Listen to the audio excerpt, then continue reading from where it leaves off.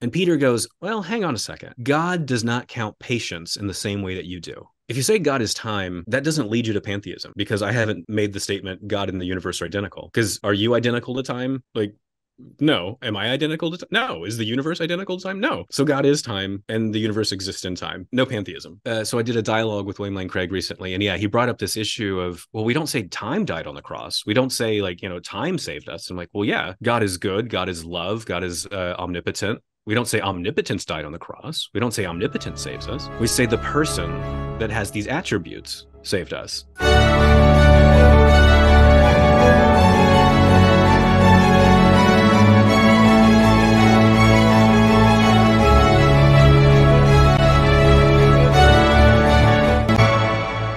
Hey everyone, uh, welcome to NT Podkast. My name is Nemanja Jurišić. Uh, this is YouTube channel of Science and Theology. So uh, today we have a very special guest, uh, Dr. Ryan Mullins. Dr. Mullins, welcome and how are you? Thank you so much for bringing me on the show.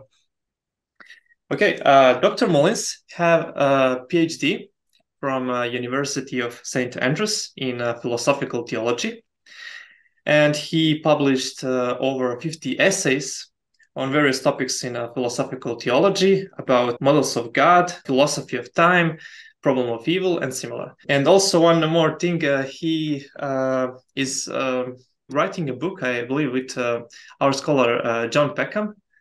Mm-hmm. So, this is great and interesting. So thank you for being with us here. We can start with questions uh, before we talk about uh, philosophy and theology. Can you describe what is time? Yeah, so there's a big debate over this question that has been pretty much ignored over the last hundred years or so. Uh, and so I take what's called an absolute theory of time, which says that time is a natured entity. It's an actual thing. And it's this natured entity that makes change possible so it's the explanation for why change is possible. It's the source of moments of time. I'll explain what those are in a second. So time is though it's this natured entity that makes change possible. It's the source of moments. And then it's the thing that orders all of these different moments into a successive timeline. Uh, and so most of what we do in physics is we're interested in just the timeline. We're not interested in, in, time itself. And same thing within philosophy. Most of the time, people are not interested in time itself. They're only interested in just the timeline. So let me explain what those moments of time are. So a moment of time is the way things are, but could be subsequently otherwise. So if you were to pause the entire universe right now, there'd be a way things are. There's like a full description of the way things are, but things could be different at the next subsequent moment. And so that's all a moment is, just like a snapshot of reality. It's just here's the way things are. They could be different next at the next moment, but this is how they are at this moment. So time is the thing that's the source of those moments, and it's the thing that organizes those moments into a coherent timeline. Okay, thank you. Uh, and the next question is God temporal or timeless? So I want to say God's temporal, but uh, let me, uh, let me define some of these terms so people have a clue what we're talking about. So to say that God is eternal, like everyone agrees on that. No one's denying that God is eternal. To say God's eternal just means to exist without beginning and without end when you're looking at the history of Western philosophical theology, not just Judaism, uh, Christianity, and Islam, but like you know the whole gamut of Western philosophical theology, uh, religious and non. Everyone thinks that eternity has at least two meanings. It can be a temporal eternity or a timeless eternity. So, if something's eternal, it exists without beginning and without end. If you want to say that God is timeless, you need to add some claims above and beyond that. So, what you say is God is timeless if and only if God exists without beginning and without end, but also without succession. So God doesn't do one thing and then another and then another. God just exists all at once in some sort of timeless present without a before and after. So he exists without succession and he exists without temporal location. So God does not exist right now. God does not exist in the past. God does not exist in the future. God does not exist right now. You just have to say God exists. Full stop. And that's it which seems kind of weird because a lot of a lot of theists are going to want to say, of course, God exists right now. But if you think God's timeless, you have to go, no, that's not true. God does not exist right now. And that sounds silly, uh, which is one of many reasons why I want to reject the view. Because if a view forces me to say silly things, I don't I don't typically like it. Um, to say that God's temporal, so you say God exists without beginning and without end because God's eternal. but God can undergo succession. God can do one thing and then another and then another. And God can have temporal location. So God exists right now. God did exist in the past, God will exist in the future, and God exists right now. Uh, so I want to affirm that view that God's temporal. If you want to know why, we can talk about that. But it, but it, it, but at least like at the moment, I'm just saying like that's the view I want to affirm. Okay, uh, can we talk uh, about why he's temporal? Yeah, yeah, yeah. So there's a lot of different reasons. Um, here's one. So a very common attribute is omnipresence. Like everyone wants to say God is omnipresent. Well, what does it mean to be omnipresent? God is like is is is uh, wholly present at some particular moment in some particular place in terms of he knows everything that's going on there and he is causally sustaining that that that moment in that place in existence then there's a whole line in um within the western traditions that says not, not just simply those two things but also like god's like whole being is wholly located at that particular place and time Okay, well, think about that. God's wholly located right now. Well, if God's timeless, he can't be wholly located right now, uh, because then he would have a temporal location and he would be temporal. If you exist at a moment, you are temporal. So, if God really is omnipresent in the full sense that traditional theists want to say, well, then they cannot affirm divine timelessness. They're going to have to say, you know, some, they're going to have to say God's temporal because he's wholly located right here, right now so that's that's that's a pretty big conflict. There's a lot of other arguments, but that's like uh, that's one that's that's quite serious. And the way people try to get out of it is wild. What they end up doing is saying God's not really related to the universe. He does not stand in a real relation to the universe. And in which case, then you just really, I really want to say, I'm sorry, but you told me God was omnipresent and now you're telling me he's not really related to this this moment? What what are you talking about? This sounds crazy. And yeah. again like i said earlier like i don't want to hold views that force me to say really crazy things. Like i'm going to say some crazy stuff every now and then but like if i consistently have to say crazy stuff then you know i don't know what i'm doing here. Yeah thank you. This is great. Um, so uh, can you explain just uh, why um, classical theism is wrong uh, because I believe most scholars uh, agree that this is true. So, how do you respond to that? Yeah, so this is actually highly controversial. So, classical theism um, is the view of, of God. Let me back up a little bit. So, there's the the concept of God, the idea of God, and then these different models of God. So, the concept of God is that of a perfect being, which is the single ultimate foundation of reality. And so all the different theories, all the different models of God agree on this basic concept. So everyone's gonna be like, yeah, yeah, whatever God is is perfect, whatever God is, foundation of reality. But that whatever is is is the is the key question. So the way people unpack what it means for God to be perfect and what it means for God to be the ultimate foundation of reality, this is where you develop your unique model of God. And so classical theism wants to say God is perfect, of course, but there's certain attributes that God has to have, such as being timeless, uh, immutable, meaning can't change in any way, shape, or form, no changes whatsoever. Uh, simple, it's divine simplicity is the divine attribute, which says God has no attributes. That's that's a whole cra- crazy thing. And then impassibility, which says that God cannot be moved or influenced by anything outside of himself for his beliefs, for his emotions, and for his actions.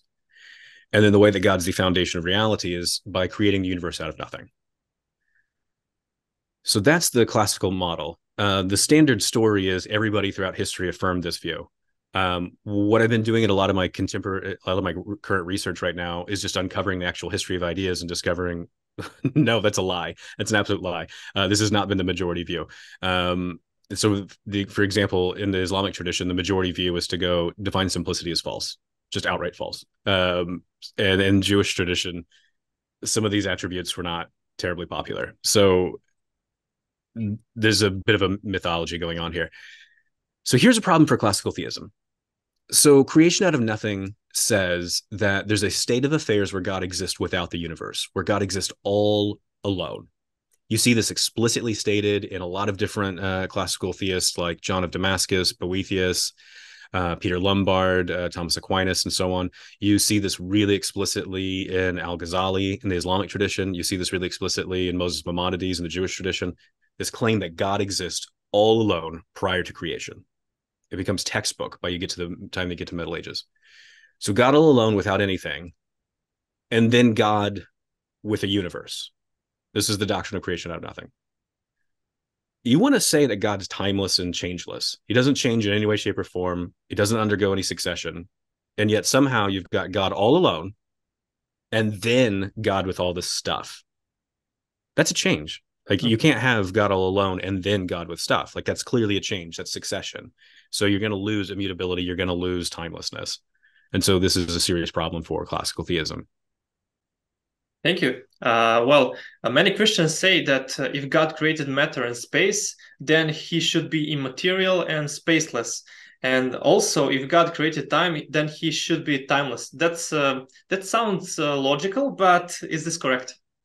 I want to say no. There's a lot of different reasons why. It depends what you think time is. So one of the things that's super frustrating when you're looking at the history of Christian thought is you see people ask the question, "What is time?"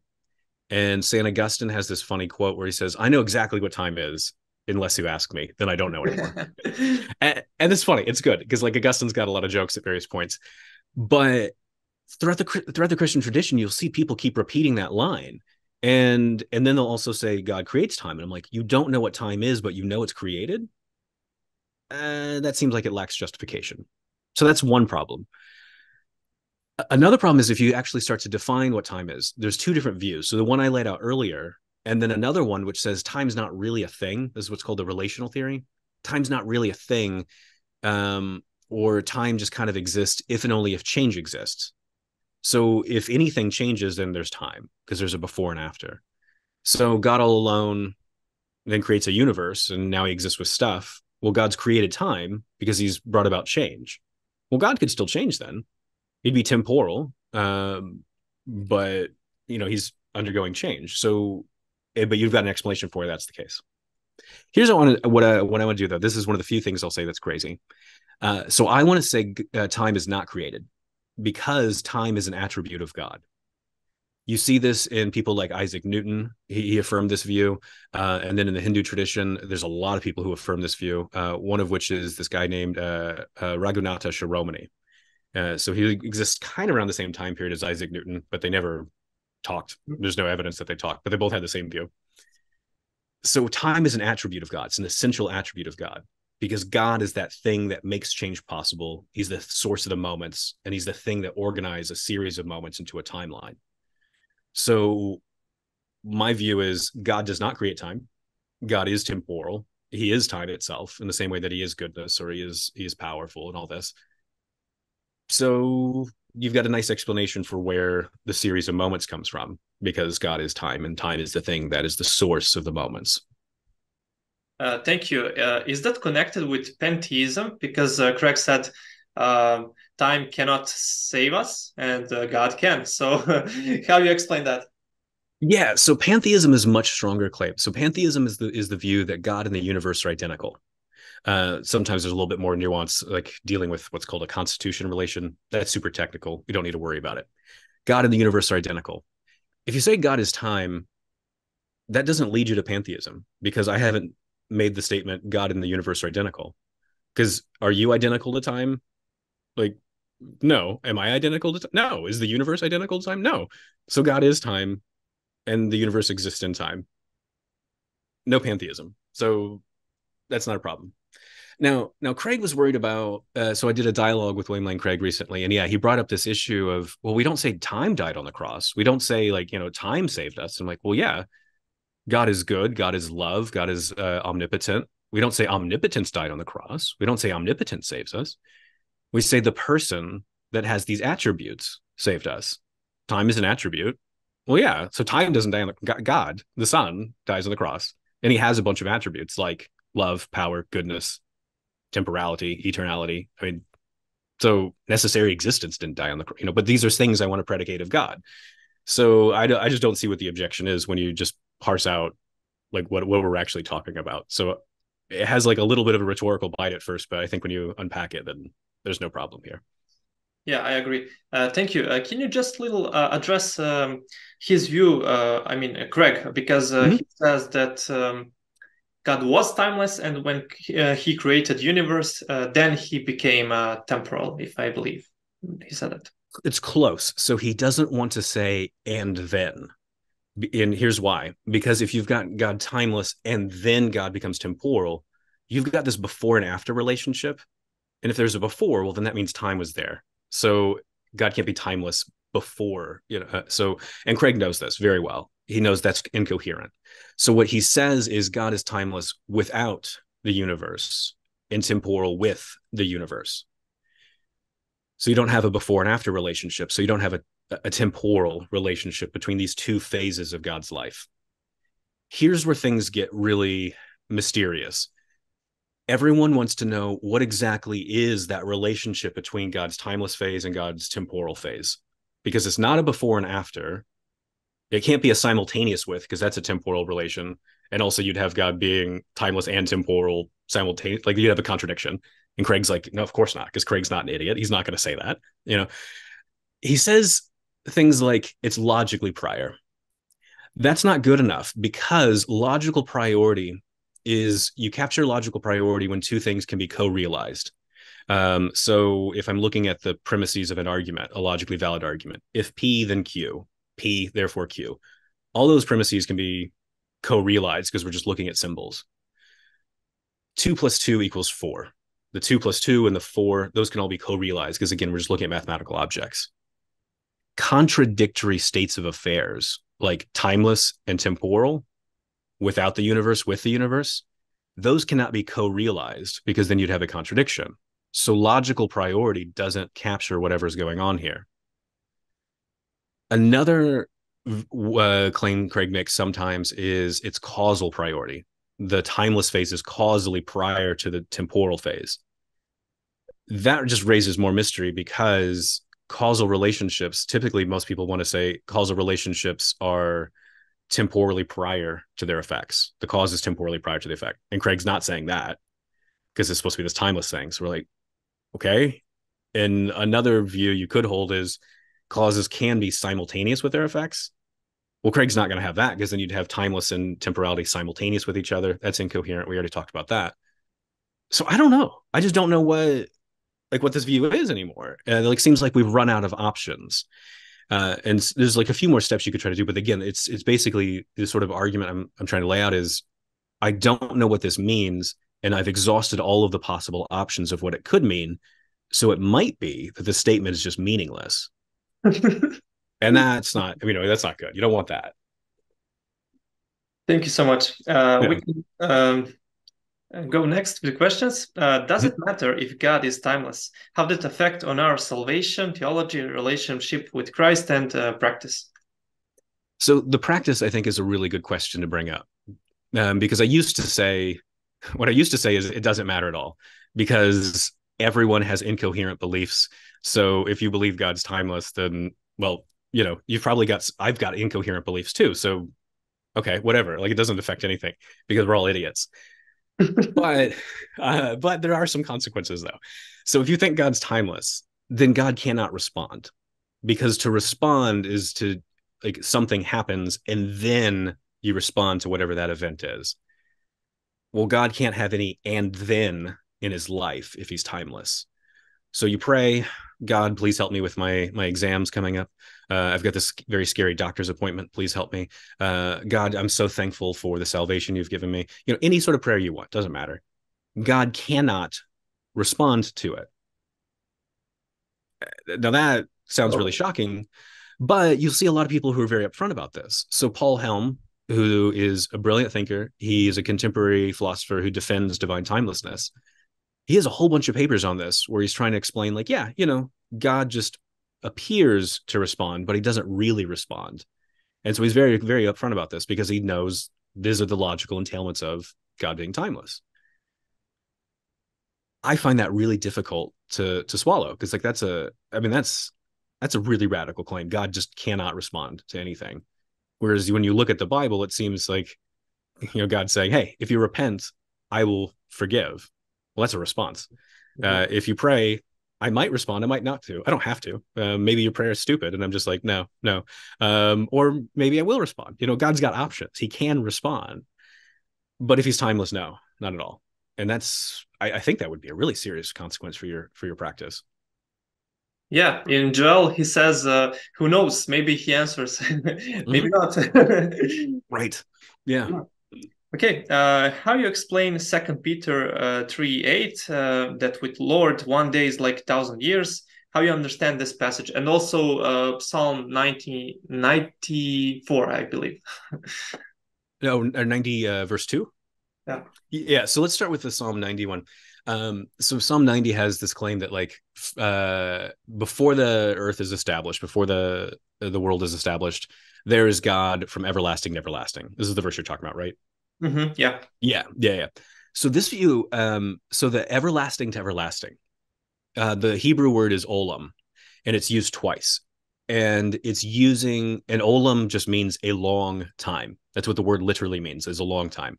All of the words for eternity in the Bible are temporal terms. Uh, they all are, every single one of them. There's no timelessness at all in the, in the Bible. And when you look at olam to olam, you're like, why everlasting to everlasting? Here's why the Old Testament has a particular Old Testament authors, they have a particular way of talking about a stretch of time. So they'll often use this to from formula to talk about some sort of uh, length of time. So from the days of King David to the the the days of King Solomon, here's what's happening. So it's a to from. And when you have from everlasting to everlasting, it's trying to talk about God's existed for a really, really long time. hmm When does God exist for a really, really long time? before the heavens and the earth are created. So remember earlier when I was talking about creation out of nothing, you've got some sort of state of affairs where God exists all alone, and then God exists with all this cosmic stuff. What's going on? Well, prior to creation, God exists all alone. How long? Well, from everlasting to everlasting. Like, I, like there's. It seems like the conditions for developing a clock are just not there. So how long? There's no fact of the matter of how long but he's been existing temporally. That's the Psalm passage. Now let's look at Hebrews, uh, or not Hebrews, uh, Second Peter. Sorry, Second Peter. The whole context is really interesting. Um, so people are being impatient, and they're going, "When is Christ going to return?" You know, look, all this terrible stuff's happening. Uh, there's like wars, there's rumors of wars, there's like some natural disasters. You know, like, you know, everything is exactly the same as it has always been. Jesus is not coming back. What are you guys going on about? You guys are, are just nuts. And Peter goes, Well, hang on a second. God does not count patience in the same way that you do. Because you and I, like, like, okay, I'm in, I live in Philadelphia in America. People here have no patience. When you're at a stoplight and the, the light turns green, if you have, if you're not already through the stoplight before it turns green, the person behind you is honking their horn. They're angry. They're so angry. They have no patience at all. God's patience is not like that. For people in Philadelphia, 15 seconds is like an eternity. It's like, oh my gosh, you know. Whereas for God, a thousand years, that's nothing. That's nothing. It's a drop in the bucket. And so that's that's this this simile that Peter uses, or this metaphor that Peter uses, is is is really beautiful because it's like for a thousand days, a thousand years, that's just like one day for God. It's no big deal. So he does not count patience in the same way that you are because he's really, really patient. A thousand years, he can wait that out. You know, who cares? Whereas, like, I'm like a thousand years. Oh my gosh, that's a long time. This is what's going on in this passage, saying God mm-hmm. is much more patient than you are. Yeah, someone tried to um, make um, mathematical equation. Uh, 1,000 years is equal to one day in our Earth. So mm-hmm. you disagree, yeah? yeah, yeah, yeah. okay. Um, next question: Does God knows the future? If yes, how you deal with apparent contradiction between human free will, freedom of choice, and uh, God's omniscience? This one is a complicated one. I don't really know the answer to it, um, but I can give you some of the options here. Okay. So, one big question is so, say you want to answer yes, God does know the future. Well, now you have to answer another question How does God know the future? How does he get that knowledge? Because you can't just go, well, God just gets it for free. Like you have to have an explanation for how God gets the knowledge. Here's one explanation God knows the future because he knows that he himself has causally determined exactly how the future is going to go. So you see this in Calvinism, you see this in uh, Thomism, um, and a lot of different versions of theological determinism. So God knows exactly how the history is going to go because he's causally determining everything that happens. He knows what you're going to think because he knows I'm going to cause you to think this way. I, he knows you're going to act this way because he's he's like I know I'm going to cause you to act this way. But trust me, you have free will. Trust me. On that one, I can't. I, can't. I'm sorry. I, I can't. I can't go. No, no, no, no. There's no. There's no way I have free will because God's causing all my thoughts. He's causing all my actions. He's causing me to have the reasons that I have eh, that I, that I think motivate my actions I, I don't see how I have free will. Another possible answer is there just are truths about what you would do in all these different situations. This is what's called Molinism. Uh, and so when God creates a universe, he, he he then knows, okay, well, this is just what's going to happen because I've set up the circumstances, and so this is what these people will do. It's a little bit more difficult to figure out how you do not have free will in this situation it's not impossible to argue against uh, you having free will here. It's just a bit more tricky, is all.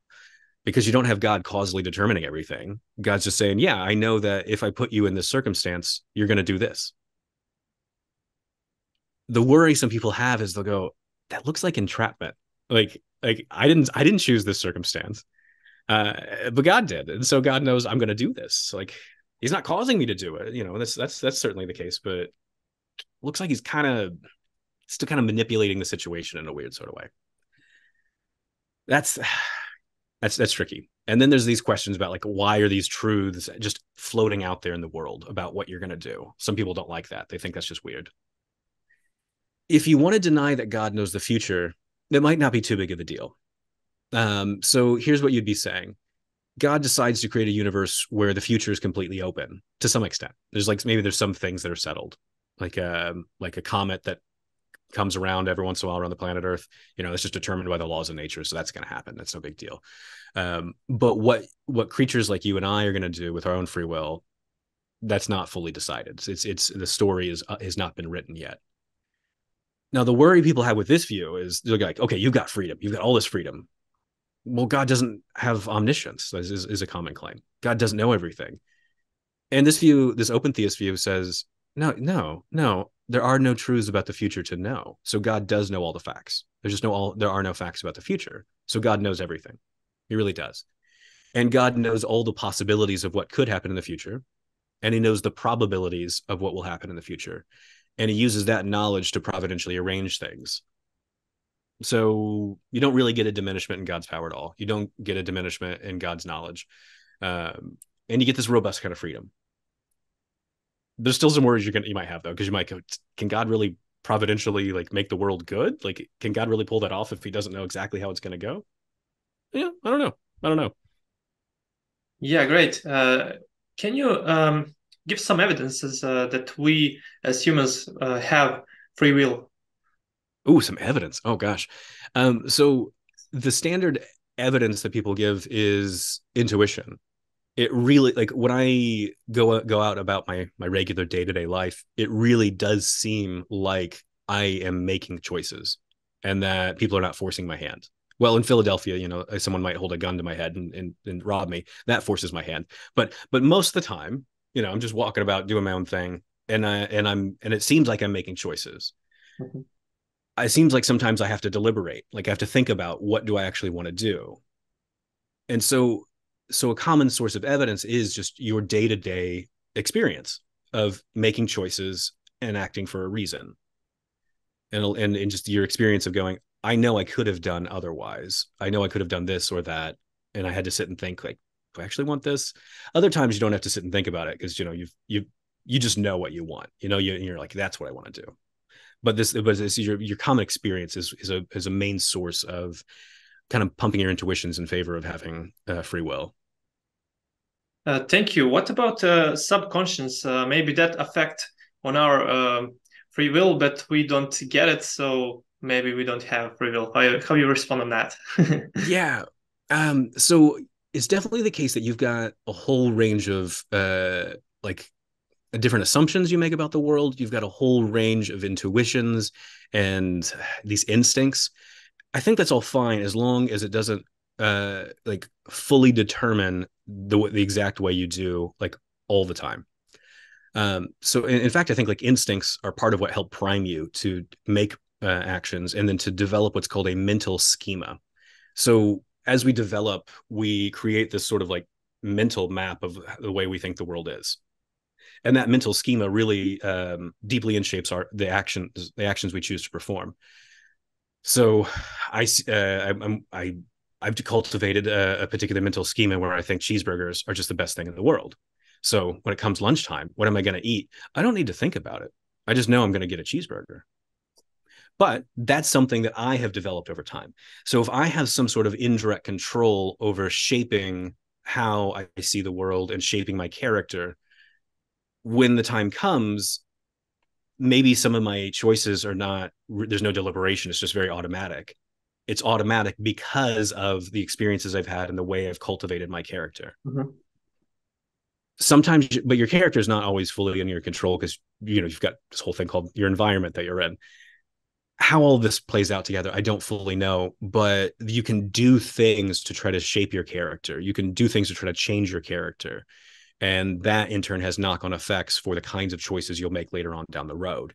So where exactly your control in uh in, in over your actions it comes at a bunch of different places. Sometimes sh- like sort of shape trying to shape your your uh, subconsciousness or your character is one of the ways you can try to do these things thank you emphasis so on try because i don't know if you can successfully pull it off. Next question. If god is timeless then uh, what about christ's incarnation? Is that a problem for a classical theism? Yes it, i think it's a serious problem. I've, I've published a bunch on this. So here's the claim that they'll try to make. So you've got one person with two natures. And the one person, Jesus Christ, he gets properties from both natures somehow. Uh, this is what's called the communication of the idioms or the communicatio idiomatum, if you want to throw around some unnecessary Latin. But the claim is the properties somehow fall on the person. So what you have is this statement that on the like when Jesus is incarnate, he is temporal and he is timeless. Well, that's a contradiction. That's a contradiction. Well, what they try to do is they'll try to say, well, it's only the divine nature that has the uh, time, the property of timelessness. It's only the human nature that has the property of being temporal. Logically, like you're like, okay, cool, that's a fine point in terms of the semantics, but but want to know what like the metaphysics, like how does that actually work? Because we still have to say that one person has both of these properties, and that doesn't seem to make any sense especially if you think that that one person on classical theism is simple. That one person is identical to the divine nature. So you're saying that a person that is identical to timelessness somehow also has the property of being temporal? That that doesn't make any sense. Now you no longer can really talk in terms of these different parts. Um, also, if God's simple, God does not have properties. That's part of what it means to be simple, is to not have any properties. So this one simple person that cannot possibly have any properties somehow has properties from the human nature. You've got a being that cannot have properties and has properties, contradiction. Also, if you're a impassible person, to be impassible just means you cannot be moved or influenced by anything outside of yourself for your beliefs, your emotions, your actions, which entails you cannot suffer. Mm-hmm. So a being that is identical to impassibility, a person that is identical to impassibility, so it's impossible to suffer.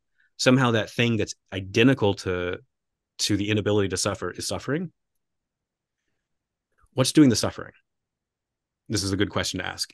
And it's, uh, the answer is really scary. What's doing the suffering is not actually the divine person at all. It's a human soul and a human body that's supposed to have this intimate relationship with this divine person. So this human soul and this human body are doing all the suffering, while the divine person's just feeling nothing but pure happiness. This sounds like two people. Uh, and, and in fact, um, there's a heresy called Nestorianism. And Nestorius, this was his view. He's like, yeah, you've got this one guy over here that's doing the suffering, and this other divine person that's not suffering. Uh, and the Orthodox view says ah, it's mysterious. So yes, this is all what's going on, but it's mysterious and Nestorius gets condemned. That's not good. Um, but then he looks at the the results of like all these councils, and he's like, "Yeah, that's what I've been saying all along. I agree with all of you." And they're like, "You should not be able to agree if you hold this wildly different view," because he doesn't have a wildly different view. So the traditional view is I think just is Nestorian. It really is. And and I'm not the only one who thinks that because when you look at the Council of Chalcedon in, in 450, uh, 451, um, so Nestorius gets condemned, and then afterwards he says, "Yeah, that's what I've been affirming all along." And then all all these different parties that either like Nestorius, they say, "Yeah, this is good. We we agree to this," and then a bunch of people who do not like Nestorianism, they get upset and say, "That council is just Nestorian. What are you guys doing?"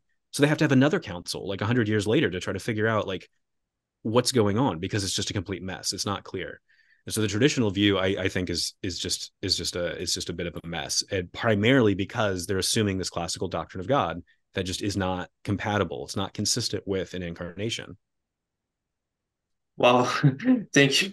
Yeah. This is great. Um, can I ask you? Um, sorry for this, but uh, how mm-hmm. and uh, how this uh, doctrine of uh, timeless God enter in early church? Can you briefly uh, describe that?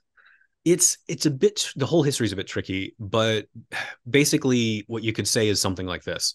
The science of the day um, science and philosophy they're all mixed up together at that time. There's not a neat distinction between philosophy and science. So the science of the day um, that that's really popular among neoplatonists so someone like plotinus is you've got this classical thing, this thing called the one that's timeless, it's simple, it's impassible, it's completely beyond, it's even beyond the beyond. I don't know what that means, but these are statements you hear. That's the science of the day. And if you are some young intellectual, you want to be consistent with the science of the day. Mm-hmm. Well, that's you see a lot of people wanting to be consistent with the science of the day. You see people like Augustine wanting to be consistent with the science of the day. You see a lot of uh, early Christians trying to be consistent with the science of the day, and it has a has an influence on the doctrine of God and a whole bunch of knock on effects within um, Christian thought. So, I think that's the main motivation here is people are just trying to be consistent with what this supposedly the scientific worldview is at the time. Something like uh, scientism, if I'm correct. Uh, it would be a bit different um, because what we now call scientism. It, there's it's a whole complicated history and so what we call scientism now would be something like some sort of like weird like really hard lined empiricism and that wouldn't exactly be what what you'd have back then but just some some desire to be scientific i guess. Yeah. That's that's the probably the best way to put it. Thank you. And um, i get the impression that um, all this uh, you talk uh, that uh, timeless god is less omniscient uh, than than uh, temporal god am i correct yeah, here's why. Uh, so if you think that God is timeless, then th- there's certain things God cannot know. So can God know what's happening right now? And, and the answer is well, well, no, because what's happening right now is constantly changing. The sum total facts of reality are constantly changing because because the way the world is is constantly changing. And can God know that? You get different answers in the Christian tradition. So Augustine he's kind of bothered by this question. He's like, can God know what's happening right now? Well, if he did, he'd be temporal. We don't want that. We God, God's got to be timeless. Okay, God just doesn't know what's happening right now, and who cares? Cool. It's not a big deal. And I'm like, whoa, I think it's a big deal. I think it's a big deal. Uh, and and Aquinas, Aquinas does think that's a big deal because he's like, if I know something that God does not know, is God, is God really omniscient? So he's really bothered by this and so he tries to figure out a way to get God knowledge of the present, but it ends up not getting God any knowledge of the present at all. And this is actually a really common um, problem throughout the entire Western tradition of trying to figure out how to get God knowledge of certain things like the present and like just the particulars of reality uh, without making everything absolutely necessary uh, and without bringing all of reality into like some sort of timeless existence. So it's it's a serious problem and and i think the easiest solution is just go look you can't you can't get a timeless god having knowledge of temporal reality so just get rid of timelessness. Like it's just it's just much easier. Thank you. And uh, probably the last question um, mm-hmm. can i ask you about uh, localism? Uh, for those who don't know what localism is uh, this is um, uh, perspective of uh, deities that are closely tied to a specific region or community. And um, uh, many Christian, even uh, Egyptologists, say that uh, localism was prevalent perspective in Bronze Age. in the time of Moses and patriarchs. So would that fit well with the view of uh, temporal God? To some extent. So when you're looking at the Old Testament, you'll see these statements over and over again where the the Hebrew people they'll enter into a new location, a new land, and they're like, "Wonder what the gods here are like." You know, uh, do, will, will, will Yahweh actually come with us because we're in a different place? You know, like they got these worries, they got these concerns, and I find that fascinating because I don't I don't have this intuition that like my that my deity is just stuck in one spot. If you've got a view that God is temporal like I do, and if you've got a view that God is time itself like I do, then a lot of this should just really go away because time is this thing that's ubiquitous across the universe. So so is God gonna be localized? Well, no, no, he's gonna be really omnipresent like very literally omnipresent. He's he's he's, he's wholly located, or he's you know located everywhere and every when. So the problem of localism should go away, uh, on, on, my view. Uh, but yeah, it's an interesting thing because you really do have to deal with what's going on here in some of these biblical passages, and you see the Hebrew people try to develop that, and and eventually asking questions like, "What if I run over here?" Like David has this nice psalm where he's like, "If I go here, God, you're there. If I run over here, God, you're there." And you see this in the story of of Jonah as well. He's trying to run away from God and yeah. he gets on a boat and then god's like you can't run away from me god i don't know what you're up to right? like this isn't this isn't how this goes so you see this kind of un like this this belief get challenged constantly in the bible itself and god going look i am omnipresent i'm not like some of these little little deities that you you think i'm, I'm much bigger than that can you uh, just describe uh, what is happening in academia uh, does maybe more um, scholars accepting uh, this view of temporal god or is it um, um, in extinction or whatever.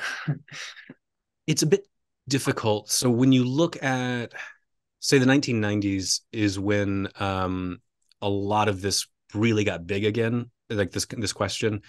So um, in the early 90s is when you get the book God and Time Four Views. So there's all these debates that are really starting to kick off, uh, leading up to that, and this from like the 60s on to the to the 90s and then divine temporality just becomes like the dominant view like it's just the most obvious view uh, thanks in part a lot to a lot, a lot of what william lane craig has done because a lot of people are just like yeah you know this seems to make more sense today though it's a mixed bag because there's been a huge renaissance of people wanting to endorse classical theism they don't really know a lot of times what classical theism actually says, but certain people have made it sound so cool, or they made it sound like you're an idolater or you're an atheist if you deny classical theism. Um, somehow you're this wicked, evil human if you deny it. And you're like, oh, I don't want to be an awful person. You know, I don't, you know, okay, I'll affirm classical theism. So they've developed this really big rhetoric that's been persuading a lot of people uh, to to to try to go back into the loving arms of a God that cannot possibly love them, who only loves himself. That's the explicit statement of classical theism. God only loves himself. Uh, so it's right now we're seeing a renaissance of this classical view, but the exact numbers it's di- is difficult to say because there are a lot of people like me who just want to resist it and go no no uh, this doesn't make sense here's why deal with the objections please nice thank you yeah yeah okay um, and uh, do you have any message for uh, end of this uh, interview can you send something uh, for us Mm-hmm. Yeah, so I so I'm so I'm a Christian theologian, and I'm actually ordained in this church in America called the Christian Church. Uh, so I've worked in churches in the past. So a big part of the research that I'm doing is just trying to figure out hear all the different theories about the nature of God, which one is coherent and which one uh, makes the most sense. So that way, I can really try to develop Christian doctrine in a, in a meaningful and coherent way. So it's a big part of what i'm up to is just trying to go okay let's let's really come up with a, an understanding of god that actually makes sense is, is is doesn't have all these contradictions in it and that fits with what the bible says. It's a long ongoing project but i think it's a good one because kind of the whole reason i got into this is because i wanted to know god and love god. And if i don't know who god is i, I don't know exactly how i'm going to love him so i decided to enter into this whole field of just trying to figure out who exactly is god Thank you. Uh, do you have any suggestion about what books to read uh, or how people can contact you and uh, support and similar? Mm-hmm. So I've got a new book that's going to be coming out soon called "A Little Book About a Big God," which is going to be um, my current thoughts about what I think the nature of God is like and why God would create anything at all. and it's about and it's going to be only it's going to be quite cheap and it's going to be uh, only 100 pages. So that's hopefully going to get published in a in a month or two. Uh, if you want to come study with me so say you want to do a master's I, I teach for a master's program at the university of lucerne which offers a a online master's program in philosophy theology and and religions so you get a robust education in the history of philosophical theology across Judaism, Christianity, and Islam uh, from ancient world till today. So it's, it's really it's really good program, and we got amazing people teaching for it. And I can also and I also do uh, tutoring for it. So I also do one-on-one tutoring for the program. Uh, if you want to contact me, you can contact me through my website, which is rtmullins.com. Mm-hmm. Okay, thank you. Well, uh, this is all for this uh, interview. Uh, Dr. Mullins, thank you for uh, your time. And uh, uh, we were blessed. I learned a lot, really, because I cannot read your articles. They are too hard for me. So this is this was great. and um, thank you, everyone, and see you next time.